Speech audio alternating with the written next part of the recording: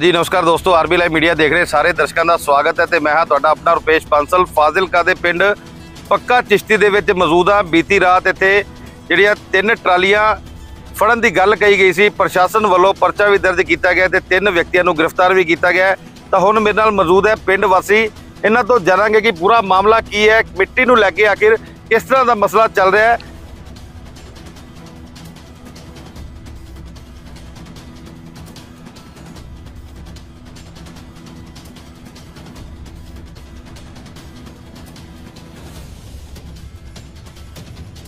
ਮੁਰਦਾਬਾਦ। ਮੈਨੇ ਵਿਭਾਗ। ਮੁਰਦਾਬਾਦ। ਮੈਨੇ ਵਿਭਾਗ। ਮੁਰਦਾਬਾਦ। ਮੈਨੇ ਵਿਭਾਗ। ਮੁਰਦਾਬਾਦ। ਮੈਨੇ ਵਿਭਾਗ। ਮੁਰਦਾਬਾਦ। ਮੈਨੇ ਵਿਭਾਗ। ਮੁਰਦਾਬਾਦ। ਮੈਨੇ ਵਿਭਾਗ। ਮੁਰਦਾਬਾਦ।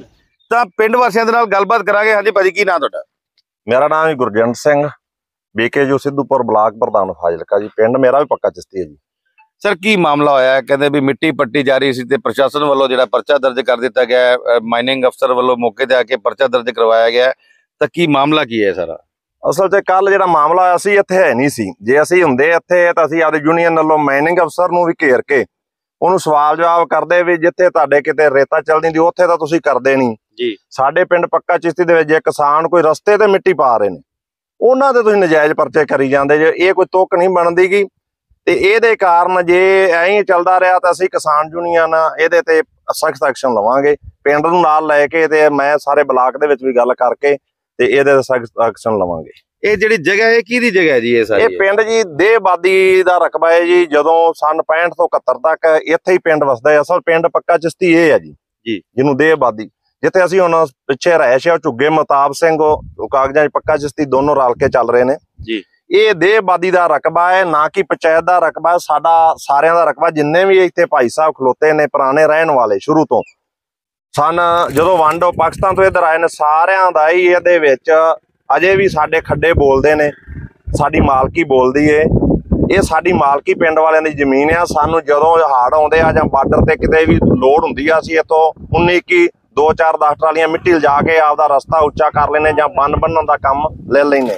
ਅਸੀਂ ਮਿੱਟੀ ਆਪਦੇ ਆਪਦੇ ਵਾਸਤੇ ਰੱਖੀ ਨੇ ਤੇ ਅਸੀਂ ਵੀ ਇਹਨੂੰ ਪੱਧਰ ਕਰਕੇ ਠੇਕੇ ਚੜਾ ਸਕਦੇ ਆ ਜਾਂ ਕੋਈ ਇਹ ਸਿਰਫ ਆਪਦੀ ਸੇਫਟੀ ਵਾਸਤੇ ਰੱਖੀ ਵੀ ਕੋਈ ਰਾਹ ਰਸਤਾ ਉੱਚਾ ਕਰਨਾ ਹੋਵੇ ਤਾਂ ਉਹਦੇ ਲਈ ਕੰਮ ਲਿਆ ਜਾਵੇ ਜੀ। ਜੀ ਤਾਂ ਪ੍ਰਸ਼ਾਸਨ ਵੱਲੋਂ ਕਿਹਾ ਜਾ ਰਿਹਾ ਕਿ ਪੰਚਾਇਤੀ ਜ਼ਮੀਨ ਹੈ ਪੁਲਿਸ ਵੱਲੋਂ ਕਿਹਾ ਜਾ ਰਿਹਾ ਪੰਚਾਇਤੀ ਜ਼ਮੀਨ ਤੇ ਮਾਈਨਿੰਗ ਹੋ ਰਹੀ ਸੀ ਮਿੱਟੀ ਕੱਢੀ ਜਾ ਰਹੀ ਸੀ।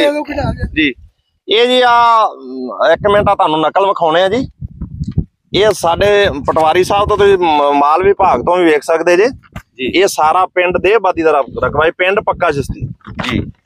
ਇਹ ਤੁਹਾਡੇ ਖਿਆਲ ਚ ਨਹੀਂ ਹੋਣਾਗਾ। ਸਾਸੀ ਚਲੋ ਸਾਡੇ ਪਿਓ ਦਾਦੇ ਇੱਥੋਂ ਦੇ ਹੀ ਸਾਨੂੰ ਵੰਡ ਹੋਈ ਜਦੋਂ ਦੀ। ਜਿੰਨੇ ਵੀ ਇੱਥੇ ਗਿੱਲ ਫੈਮਿਲੀ ਰਹਿ ਲਈ ਏ, ਜਾਂ ਹੋਰ ਫੈਮਲੀਆਂ ਰਹਿ ਰਹੀਆਂ ਨੇ, ਉਹਨਾਂ ਨੂੰ ਇਸਤੇਮਾਲ ਦੇ ਵਿੱਚ ਹੀ ਇੱਥੇ ਹੋਈ ਕੱਚੀਆਂ ਲਾਟਾਂ ਸਾਨੂੰ ਦੱਬ ਵਾਲੇ ਹੋਈਆਂ ਸੀਗੀਆਂ। ਮਤਲਬ ਜਿਵੇਂ ਆਪਾਂ ਨੂੰ ਕੱਚੇ ਤੌਰ ਤੇ ਪਲਾਟ ਮਿਲ ਜਾਂਦੇ ਆ, ਪੱਕੀ ਵੰਡ ਸਾਡੇ ਸਾਰੇ ਪਿੰਡ ਦੇ ਜਿੰਨੇ ਵਸਨੀਕ ਨੇ, ਸਾਰਿਆਂ ਨੂੰ ਪਿੰਡ ਪੱਕਾ ਚਿਸ਼ਤੀ ਦੇ ਵਿੱਚ ਅਲਾਟਮੈਂਟ ਹੋਈ ਸੀ। ਉਦੋਂ ਇੱਥੇ ਸਾਡੇ ਦਾਦਾ ਪੜਦਾਦਾ ਇੱਥੇ ਇਸ ਪਿੰਡ ਦੇ ਵਿੱਚ ਰਹਿੰਦੇ ਰਹੇ। ਤੇ ਅਜੇ ਵੀ ਤੁਸੀਂ ਰਿਕਾਰਡ ਕਢਾ ਕੇ ਵੇਖ ਲਓ ਜਿਹੜੇ ਬੰਦੇ ਇੱਥੇ ਰਹਿੰਦੇ ਉਹਨਾਂ ਦੇ ਗੜੇ ਉਹਨਾਂ ਨੂੰ ਗੜੇ ਕਹਿੰਦੇ ਸੀ ਜਿਹੜੇ ਖੱਡੇ ਹੁੰਦੇ ਸੀ। ਜੀ।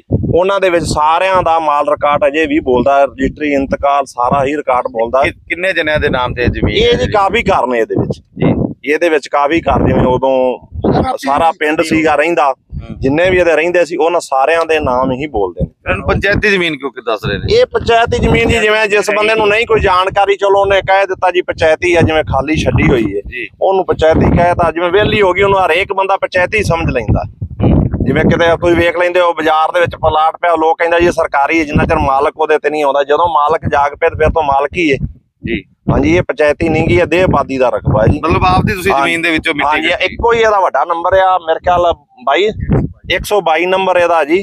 ਇੱਕੋ ਹੀ ਜਿਵੇਂ ਵੈਸੇ ਕਿੱਲਾ ਨੰਬਰ ਹੁੰਦਾ 122 ਨੰਬਰ ਇਹਦਾ ਵੱਡਾ ਦੇਹਬਾਦੀ ਦਾ ਰਕਬਾ ਹੈ। ਜੀ। ਹਾਂਜੀ। ਤਾਂ ਤੁਸੀਂ ਦੇਖ ਸਕਦੇ ਹੋ ਕਿਸ ਤਰ੍ਹਾਂ ਦੇ ਨਾਲ ਕਿਹਾ ਜਾ ਰਿਹਾ ਕਿ ਦੇਹ ਆਬਾਦੀ ਦਾ ਇਹ ਰਕਬਾ ਹੈ ਤੇ ਪਿੰਡ ਪੱਕਾ ਕਿਸ਼ਤੀ ਜਿਹੜਾ ਪੁਰਾਣਾ ਪਿੰਡ ਸੀ ਉਹ ਇਹ ਹੀ ਹੁੰਦਾ ਸੀ ਤਾਂ ਲੋਕਾਂ ਨੇ ਆਪਦੀ ਸੁਵਿਧਾ ਅਨੁਸਾਰ ਇਸ ਜਗ੍ਹਾ ਨੂੰ ਛੱਡਿਆ ਹੋਇਆ ਤਾਂ ਕਿ ਕਿਸੇ ਖੇਤ ਦੇ ਵਿੱਚ ਮਿੱਟੀ ਦੀ ਜ਼ਰੂਰਤ ਹੈ ਜਾਂ ਫਿਰ ਪਿੰਡ ਦੇ ਵਿੱਚ ਜਿਹੜਾ ਹੁਣ ਪਿੰਡ ਵਸਾਇਆ ਗਿਆ ਸੀ ਉਸ ਦੇ ਵਿੱਚ ਮਿੱਟੀ ਦੀ ਜ਼ਰੂਰਤ ਹੈ ਤਾਂ ਇੱਥੋਂ ਹੀ ਮਿੱਟੀ ਪੱਟ ਕੇ ਜਿਹੜੀ ਪਿੰਡ ਦੇ ਵਿੱਚ ਲਿਆਂਦੀ ਜਾਂਦੀ ਸੀ ਜੋ ਕਿ ਅੱਜ ਤੋਂ ਨਹੀਂ ਬਲਕਿ ਪਿਛਲੇ ਕਈ ਸਾਲਾਂ ਤੋਂ ਇਹ ਕੰਮ ਜਿਹੜਾ ਚੱਲ ਰਿਹਾ ਸੀ ਤਾਂ ਇਹਨਾਂ ਦਾ ਕਹਿਣਾ ਹੈ ਕਿ ਅਸੀਂ ਆਪਦੀ ਜਗ੍ਹਾ ਤੋਂ ਹੀ ਜਿਹੜਾ ਮਿੱਟੀ ਪੱਟਣ ਦਾ ਕੰਮ ਕਰ ਰਹੇ ਸੀ ਤੇ ਪ੍ਰਸ਼ਾਸਨ ਵੱਲੋਂ ਜਿਹੜਾ ਪਰਚਾ ਗਲਤ ਕਰ ਦਿੱਤਾ ਗਿਆ ਜੀ। ਪ੍ਰਸ਼ਾਸਨ, ਚਲੋ ਜੇ ਪ੍ਰਸ਼ਾਸਨ ਨੂੰ ਕੋਈ ਸ਼ਿਕਾਇਤ ਮਿਲੀ ਸੀ, ਉਹ ਥੋੜਾ ਜਿਹਾ ਇਹਨੂੰ ਘੋਖ ਲੈਂਦਾ, ਪਰਚਾ ਤਾਂ ਦਿਹਾੜੀ ਲੇਟ ਵੀ ਕਰ ਸਕਦੇ ਸੀ। ਕਿਉਂਕਿ ਜਿਹੜਾ ਕਰ- ਕੀਤਾ ਪਰਚਾ ਫਿਰ ਤੁਹਾਨੂੰ ਇਹ ਪਤਾ ਵੀ ਜੇ ਕੋਈ ਕਿਸਾਨ ਫਸ ਜਾਂਦਾ ਹੈ, ਉਹ ਵਕੀਲ ਕਰੂ, ਤਰੀਕਾਂ ਦੇ ਜਾਊਗਾ, ਫਿਰ ਉਹਨੂੰ ਖਾਰਜ ਕਰਾਉਣਾ ਬੜਾ ਔਖਾ ਹੋ ਜਾਂਦਾ ਹੈ।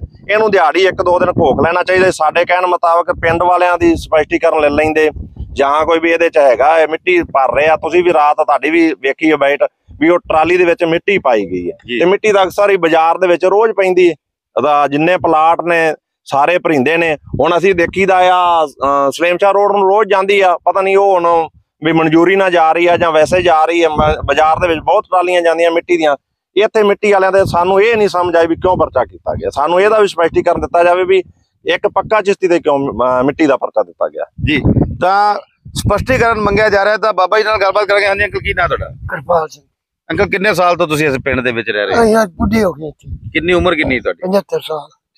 ਤੇ ਕੀ ਮਸਲਾ ਕੀ ਹੈ ਹੁਣ ਮਿੱਟੀ ਦਾ? ਮਸਲਾ ਮਿੱਟੀ ਦਾ ਜੀ ਇਹ ਪਿੰਡ 65 ਚ 71 ਚ ਵੇਚਰਾਗ ਹੋ ਗਿਆ। 65 ਚ ਉਜੜਿਆ। ਲੋਕ ਵਸੇ 71 ਚ ਫੇਰ ਆ ਗਏ। ਫੇਰ ਕੁੱਟ ਮਰਾਈ ਹੋਈ। ਫੇਰ ਪਿੰਡ ਛੱਡ ਕੇ ਪਿੱਛੇ ਬਹਿ ਗਏ। ਅੱਛਾ ਮਿੱਟੀ ਦਾ ਮਸਲਾ ਇਹੋ ਹੀ ਆ ਵੀ ਜੋ ਇਹਨੇ ਭਾਈ ਸਾਹਿਬ ਨੇ ਦੱਸਿਆ ਹੈ ਵੀ ਇੱਥੋਂ ਅਸੀਂ ਲੋੜ ਅਨੁਸਾਰ ਮਿੱਟੀ ਪੁੱਟ ਲੈਂਦੇ ਆ ਆ ਰਾਹ ਤੇ ਪਾਉਂਦੇ ਆ ਇਹ ਖੱਡਾ ਪੂਰਨੇ ਆ ਕੱਲ ਆਪਦੇ ਮੂੰਹ ਆਖੀ ਗਿਆ ਇੰਸਪੈਕਟਰ ਵੀ ਮਿੱਟੀ ਆ ਹੂੰ। ਮੈਂ ਕਿਹਾ ਵੀ ਆਹ ਮਿੱਟੀ ਆ ਇਹ ਮੁੜ ਕੇ ਆਵਾ ਵੀ ਮਿੱਟੀ ਦਾ ਹੀ ਪਰਚਾ ਹੋ ਸਕਦਾ ਹਾਂ ਇਹ ਠੋਕ ਕੇ ਪਰਚਾ ਕਰ ਦਿੱਤਾ ਹੂੰ।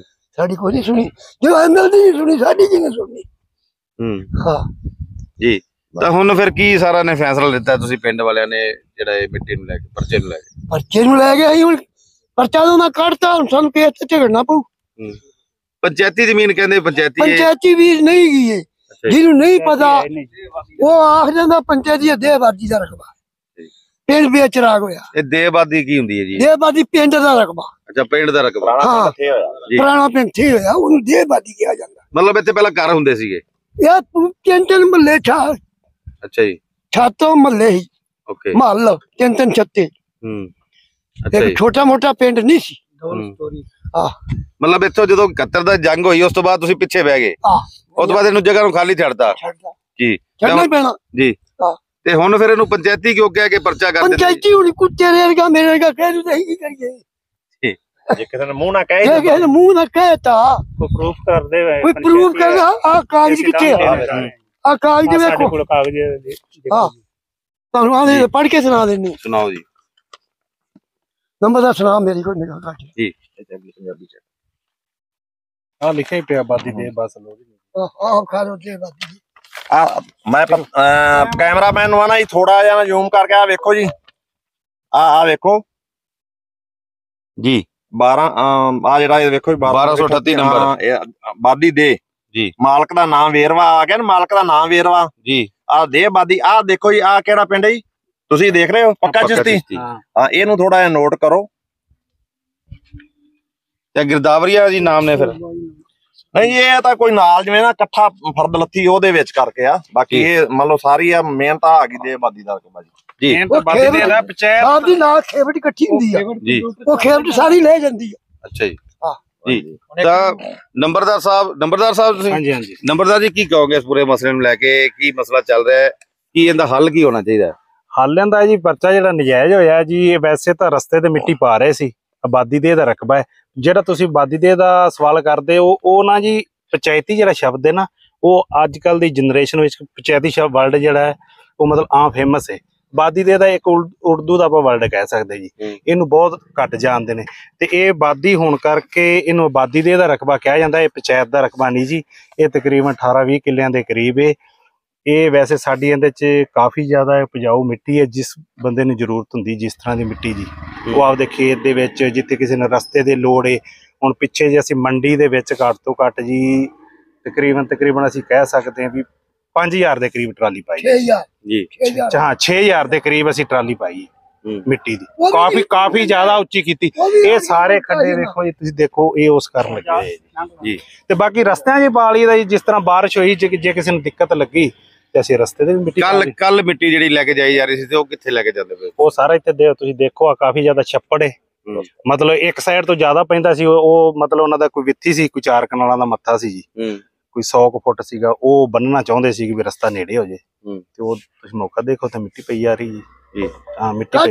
ਤੇ ਦੱਸਿਆ ਨਹੀਂ ਸੀ ਫਿਰ ਤੁਸੀਂ ਜਿਹੜੇ ਅਫਸਰ ਆਏ ਸੀ ਦੱਸਿਆ ਨਹੀਂ ਸਾਰਿਆਂ ਨੇ ਮੈਨੂੰ ਉਹਨਾਂ ਨੂੰ ਦੱਸਿਆ ਜੀ। ਉਹ ਕਹਿੰਦੇ ਵੀ ਮਿੱਟੀ ਦਾ ਵੀ ਪਰਚਾ ਆ ਜਾਂਦਾ। ਇਹ ਤਾਂ ਅਸੀਂ ਤਕਰੀਬਨ ਜੇ ਸਹੀ ਪੁੱਛੋ ਤਾਂ ਅਸੀਂ ਪਹਿਲੀ ਵਾਰ ਸੁਣਿਆ। ਜੇ ਮੰਨ ਲਓ ਇਹ ਅਫਸਰ ਕਹਿੰਦੇ ਵੀ ਪਰਚਾ ਹੋ ਸਕਦਾ ਕਮ ਸੇ ਕਮ ਅਨਾਉਂਸਮੈਂਟ ਤਾਂ ਕਰਾਉਂਦੇ ਨਾ ਵੀ ਮਿੱਟੀ ਨਾ ਚੱਕੋ ਪਿੰਡ ਦੇ ਵਿੱਚੋਂ। ਤੁਸੀਂ ਮਿੱਟੀ ਨਾ ਚੱਕੋ ਇਹਦਾ ਵੀ ਪਰਚਾ ਹੋ ਜਾਏਗਾ। ਹਾਂ। ਤੇ ਹੁਣ ਕੋਈ ਜਾਣਕਾਰੀ ਦਿੱਤੀ ਹੈ ਉਸ ਤੋਂ ਬਾਅਦ ਕਹਿੰਦੇ ਸੀ ਇੱਕ WhatsApp ਨੰਬਰ ਵੀ ਕਹਿੰਦੇ ਸੀ ਵੀ ਕੋਈ ਜਾਰੀ ਹੋਇਆ ਹੋਇਆ ਹੈ ਉਹਦੇ ਤੇ ਤੁਸੀਂ ਪਰਮਿਸ਼ਨ ਲੈ ਸਕਦੇ ਹੋ ਉਹ ਦੱਸ ਕੇ ਗਏ ਫਿਰ WhatsApp ਨੰਬਰ ਕਿਹੜਾ ਹੈ? ਨਹੀਂ ਜੀ ਕੋਈ ਸਾਨੂੰ ਕੁਝ ਨਹੀਂ ਦੱਸਿਆ ਜੀ। ਬਸ ਉਹ ਕਹਿੰਦੇ ਮਿੱਟੀ ਦਾ ਵੀ ਪਰਚਾ ਹੋ ਸਕਦਾ ਹੈ। ਸੋ ਨਾ ਮਿੱਟੀ ਤੇ ਕਰਤਾ ਜੀ। ਦੇਖੋ ਜੀ ਜਿਹੜਾ ਵੀ ਜਿਵੇਂ ਹੁਣ ਆਪਾਂ ਅੱਗੇ ਐਸਐਸਪੀ ਸਾਹਿਬ ਨੇ WhatsApp ਨੰਬਰ ਲਾਂਚ ਕੀਤਾ ਵੀ ਕੋਈ ਨਸ਼ਿਆਂ ਦੇ ਮੁੱਦੇ ਤੇ। ਜੀ। ਜਿਹੜਾ ਅਫਸਰ ਮਾਈਨਿੰਗ ਵਿਭਾਗ ਵਾਲਾ ਅਫਸਰ ਕਹਿ ਰਿਹਾ ਜੀ WhatsApp ਨੰਬਰ ਤੁਹਾਨੂੰ ਦੱਸਾਂਗੇ। ਜੇ ਉਹਨਾਂ ਨੇ ਦੱਸਣਾ ਹੀ ਤਾਂ ਇੰਨੀ ਜਨਤਾ ਦੇ ਇੱਕ ਲੌਸਮੈਂਟ ਕਰਾਉਣ ਦਾ ਮਤਲਬ ਇੱਕ ਜਨਤਾ ਨੂੰ ਦੱਸਣਾ ਅਵੇਅਰ ਕਰਨਾ, ਉਹ ਫਿਰ ਕੱਲ ਕਿਉਂ ਨਹੀਂ ਦੱਸ ਕੇ ਗਏ?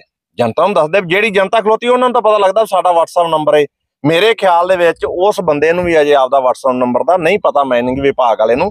ਜੇ ਮਾਈਨਿੰਗ ਵਿਭਾਗ ਵਾਲੇ ਨੂੰ ਪਤਾ ਹੁੰਦਾ, ਇੰਨੀ ਜਨਤਾ ਨੂੰ ਉਸੇ ਵੇਲੇ ਦੱਸ ਦਿੰਦਾ, ਅਸੀਂ ਵੀ ਰੋਜ਼ ਜਨਤਾ ਦੇ ਵਿੱਚ ਵਿਚਰਦੇ ਆ, ਜਥੇਬੰਦੀਆਂ ਦੀ ਨੁਮਾਇੰਦਗੀ ਕਰਦੇ ਆ। ਘੱਟ ਤੋਂ ਘੱਟ ਤੇ ਜੇ 50 100 ਬੰਦਾ ਸੀ। ਉਹਨਾਂ ਨੂੰ 50 100 ਬੰਦੇ ਨੂੰ ਪਤਾ ਲੱਗਦਾ ਉਹ ਅੱਗੇ ਸਾਨੂੰ ਸਾਰਿਆਂ ਨੂੰ ਦੂਜਿਆਂ ਨੂੰ ਸ਼ੇਅਰ ਕਰਦੇ। ਤੇ WhatsApp ਨੰਬਰ ਤਾਂ ਆਟੋਮੈਟਿਕ ਹੀ ਅੱਜ ਕੱਲ ਗਰੁੱਪ ਬਣੇ ਨੇ ਤੇ ਸ਼ੇਅਰ ਹੋ ਜਾਣਾ ਹੀ ਸਾਰੇ ਪਰਮਿਸ਼ਨ ਕਹਿ ਰਹੇ ਸੀ ਕਹਿੰਦੇ ਜੀ ਫੋਨ ਮੇਰਾ ਬੰਦ ਹੋ ਗਿਆ ਨੋਟੀਫਿਕੇਸ਼ਨ ਤੁਹਾਨੂੰ ਸੈਂਡ ਕਰ ਦਿਆਂਗੇ। ਨਹੀਂ ਜੀ ਫੋਨ ਨੰਬਰ ਬੰਦ ਹੋ ਗਿਆ ਹੁਣ ਤੁਸੀਂ ਆ ਮੀਡੀਆ ਚਲਾਉਂਦੇ ਤੁਹਾਨੂੰ ਆਪਦਾ ਨੰਬਰ ਜਾਂ ਜਿਹੜੇ ਮਹਿਕਮੇ ਦੇ ਵਿੱਚ ਬੰਦਾ ਜੌਬ ਕਰ ਰਿਹਾ ਹੈ। ਉਸ ਬੰਦੇ ਨੂੰ ਇਹ ਵੀ ਪਤਾ ਇਹ ਵੀ ਗੱਲ ਹੈ ਵੀ ਉਸ ਬੰਦੇ ਨੂੰ ਉਹ ਮਹਿਕਮੇ ਦਾ ਉਹਦਾ ਪਰਸਨਲ WhatsApp ਤਾਂ ਹੈ ਨਹੀਂ। ਮਹਿਕਮੇ ਦਾ। ਉਹਨੂੰ ਇਹ ਵੀ ਇਹ ਨਹੀਂ ਪਤਾ ਵੀ ਨੰਬਰ ਹੀ ਨਹੀਂ ਉਹ ਪਤਾ ਉਹਨੂੰ। ਨੰਬਰ ਹੀ ਯਾਦ ਨਹੀਂ।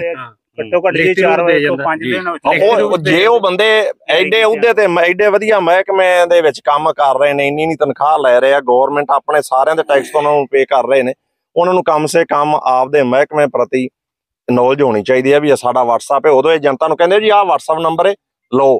ਸਾਰਿਆਂ ਨੂੰ ਤਾਂ ਮੀਡੀਆ 'ਚ ਜਾਂਦਾ। ਹੁਣ ਆਪਣੇ ਆਰਬੀ ਲੈਵ ਤਕਰੀਬਨ ਫਾਈਲਕਾ ਦੇ ਵਿੱਚ ਸਾਰੀ ਜਨਤਾ ਹੀ ਵੇਂਦੀ ਹੈ। ਕਿਉਂਕਿ ਬਹੁਤ ਵਧੀਆ ਚੈਨਲ ਵਧੀਆ ਮੁੱਦੇ ਉਠਾਉਂਦੇ ਨੇ। ਇਹਦੇ ਤੇ ਬੋਲ ਦਿੰਦੇ ਤੇ ਆਟੋਮੈਟਿਕ WhatsApp ਨੰਬਰ ਤਾਂ ਘਰ ਘਰ ਪਹੁੰਚ ਜਾਣਾ ਸੀ। ਆਉਣ ਵਾਲੇ ਸਮੇਂ 'ਚ ਆ ਜਿਹੜੇ ਝੰਜੇੜੇ ਪੈਂਦੇ ਪੈਂਦੇ ਹੀ ਨਾ। ਉਹ ਨਹੀਂ, ਅਸੀਂ ਕਈ ਵਾਰੀ ਪੁੱਛਿਆ ਉਹਨਾਂ ਨੂੰ ਉਹ ਫੋਨ ਬੰਦ ਕਰਨ ਦਾ ਕਹਿ ਰਹੇ ਸੀ ਬੰਦ ਹੋ ਗਿਆ ਜੀ ਕਹਿੰਦੇ ਤੁਹਾਨੂੰ ਬਾਅਦ 'ਚ ਦੱਸਾਂਗੇ। ਜੇ ਕੁਝ ਕਿਸਾਨਾਂ ਨੇ ਪਿੰਡ ਵਾਸੀਆਂ ਨੇ ਪੁੱਛਿਆ ਸੀ ਤਾਂ ਉਹਨਾਂ ਦੱਸਿਆ ਨਹੀਂ ਜੀ ਸਰ ਪੈਨ ਪੈਨ ਤਾਂ ਮਿਲਦਾ ਸੀ ਨਾ ਪੈਨ। ਕਾਪੀ ਤਾਂ ਹੈ ਸੀ ਨਾ। ਲਿਖਵਾਇਆ ਤਾਂ ਜਾ ਸਕਦਾ ਸੀ ਫੋਨ ਇਹ ਤਾਂ ਨਹੀਂ ਫੋਨ ਜਿਵੇਂ ਤੁਸੀਂ ਪੁੱਛਿਆ ਤੁਹਾਡੀ ਬੈਠ ਸੁਣੀ। ਬੰਨੇ ਮਾਰਦੇ ਸੀਗੇ। ਬੰਦੇ ਦੇ ਪਿੰਨ ਵੀ ਨਹੀਂ ਹੈਗਾ ਬੰਦੇ ਦੇ ਜ਼ਬਾਨ ਤੋਂ ਹੈਗੀ ਆ ਨਾ। ਹੁਣ। ਆਪਾਂ ਗੱਲਾਂ ਕਰ ਰਹੇ ਹਾਂ। ਇਹਦੀ ਕਾਪੀ ਸਾਰਾ ਕੋਲ ਹੀ ਉਹਦੇ ਕੋਲ। ਹੁਣ ਮੈਨੂੰ ਕੋਈ ਮੇਰਾ WhatsApp ਨੰਬਰ ਪੁੱਛਦਾ ਤਾਂ ਮੈਂ ਮਿੰਟ ਦੱਸਦਾ ਵੀ 73 73 15 21 23 ਤੇ ਤੁਸੀਂ ਭੇਜ ਦਿਓ। ਹਾਂਜੀ ਹਾਂਜੀ। ਤਾਂ ਮਹਿਕਮੇ ਵਾਲਿਆਂ ਨੂੰ ਤਾਂ ਇਹ ਤਾਂ ਸਰ ਤੁਸੀਂ ਆ ਨਾ ਜਿਵੇਂ ਮੀਡੀਆ ਇੱਕ ਚੌਥਾ ਥੰਮ ਹੁੰਦਾ ਹੈ। ਤੁਸੀਂ ਉਹਨਾਂ ਨੂੰ ਸਵਾਲ ਜਵਾਬ ਕਰ ਸਕਦੇ ਵੀ ਤੁਸੀਂ ਇਸ ਮਹਿਕਮੇ ਦੇ ਵਿੱਚ ਪੁੱਛਿਆ ਜੀ ਬੜਾ ਪੁੱਛਿਆ ਉਹਨੂੰ। ਹਾਂਜੀ। ਪਰ ਨਹੀਂ ਉਹਨਾਂ ਕੋਲ ਫਿਰ ਉਹਨਾਂ ਨੂੰ। ਉਹਨਾਂ ਨੂੰ ਇਹ ਆ ਫਿਰ ਆਪਦੇ ਮਹਿਕਮੇ ਬਾਰੇ ਹੀ ਪੂਰੀ ਜਾਣਕਾਰੀ ਨਹੀਂਗੀ ਤੇ ਅਸੀਂ ਤਾਂ ਆਨੇ ਉਤੋਂ ਸਰਕਾਰ ਨੂੰ ਵੀ ਇਹੋ ਜਿਹੇ ਅਫਸਰਾਂ ਨੂੰ ਪੁੱਛਣਾ ਚਾਹੀਦਾ ਵੀ ਤੁਸੀਂ ਆਪਦੇ ਮਹਿਕਮੇ ਬਾਰੇ ਪ੍ਰੋਪਰ ਜਾਣਕਾਰੀ ਰੱਖੋ। ਤੇ ਜੇ ਮਹਿਕਮੇ ਵਾਲੇ ਇਹ ਨਹੀਂ ਅਵੇਅਰ ਹੈਗੇ ਤਾਂ ਜਨਤਾ ਕਿੱਥੋਂ ਹੋਊਗੀ? ਜਨਤਾ ਦਾ ਤਕਰੀਬਨ ਜ਼ਿਆਦੇ ਪੁਰਾਣੇ ਬੰਦੇ ਅਨਪੜ੍ਹ ਨੇ। ਤੇ ਅੱਜ ਕੱਲ ਉਹ ਇਹ ਨਾਲੇ ਆ ਪਹਿਲੀ ਵਾਰ ਮਸਲਾ ਆਇਆ। ਸਾਡੇ ਵੀ ਅਸੀਂ ਵੀ ਹੋਰ ਮਸਲੇ ਉਠਾਉਣੇ ਆ ਪਰ ਸਾਡੇ ਵੀ ਇਹ ਧਿਆਨ ਦੇ ਵਿੱਚ ਯਾਰ ਮਿੱਟੀ ਦੀ ਮਾਈਨਿੰਗ ਵਾਲਾ ਪਹਿਲੀ ਵਾਰ ਮਸਲਾ ਆਇਆ ਤੇ ਹੁਣ ਕਿਸਾਨਾਂ ਦੇ ਨਾਲ ਧੱਕਾ ਹੋਇਆ ਜੀ ਤੇ ਇਹਨੂੰ ਲੈ ਕੇ ਤੁਹਾਡੀ ਯੂਨੀਅਨ ਵੱਲੋਂ ਕਿਸ ਤਰ੍ਹਾਂ ਦੇ ਫੈਸਲੇ ਲਏ ਜਾਣਗੇ? ਅਸੀਂ ਪ੍ਰਸ਼ਾਸਨ ਨੂੰ ਮਿਲਾਂਗੇ ਨਾਲ ਜਿਨ੍ਹਾਂ ਤੇ ਧੱਕਾ ਆ ਉਹਨਾਂ ਨੂੰ ਨਾਲ ਲੈ ਕੇ ਪ੍ਰਸ਼ਾਸਨ ਨੂੰ ਮਿਲਾਂਗੇ ਵੀ ਇਹਨਾਂ ਦਾ ਚਲੋ ਗਲਤੀ ਨਾਲ ਕਈ ਵਾਰਾਂ ਮਿਸ ਅੰਡਰਸਟੈਂਡਿੰਗ ਹੋ ਜਾਂਦੀ ਹੈ ਗਲਤੀ ਨਾਲ ਹੋ ਗਿਆ। ਤੇ ਇਹਨੂੰ ਪਰਚਾ ਨੂੰ ਜਿਹੜਾ ਰੱਦ ਕੀਤਾ ਜਾਵੇ ਤੇ ਗਾਂ ਲੋਕਾਂ ਨੂੰ ਅਵੇਅਰ ਕੀਤਾ ਜਾਵੇ ਵੀ ਜਿਹੜੀ ਇਹ ਮਿੱਟੀ ਵੀ ਚੱਕਣੀ ਹੈ ਚਲ WhatsApp ਨੰਬਰ ਪ੍ਰਸ਼ਾਸਨ ਮੁਹੱਈਆ ਕਰਾਵੇ ਤੇ ਉਹਦੇ ਤੇ ਮਨਜ਼ੂਰੀ ਲੈ ਕੇ ਤੇ ਕੀਤੀ ਜਾਵੇ। ਕਿਉਂਕਿ ਆਪਣਾ ਇਹ ਫਾਈਲਕਾ ਦੇ ਵਿੱਚੋਂ ਸਾਨੂੰ ਪਤਾ ਵੀ ਇੱਥੇ ਇਹੋ ਜਿਹਾ ਕੰਮ ਹੈ ਨਹੀਂ ਕੋਈ ਗਲਤ ਮਾਈਨਿੰਗ ਵਾਲਾ ਜਾਂ ਕੋਈ ਵੀ। ਸਾਡਾ ਪਿੰਡ ਤਾਂ ਵੈਸੇ ਹੀ ਅੱਗੇ ਬਹੁਤ ਵਧੀਆ ਹੈ ਇਹਦਾ ਕਦੀ ਅੱਜ ਤੱਕ ਕੋਈ ਸ਼ਿਕਾਇਤ ਨਹੀਂ ਆਏਗੀ।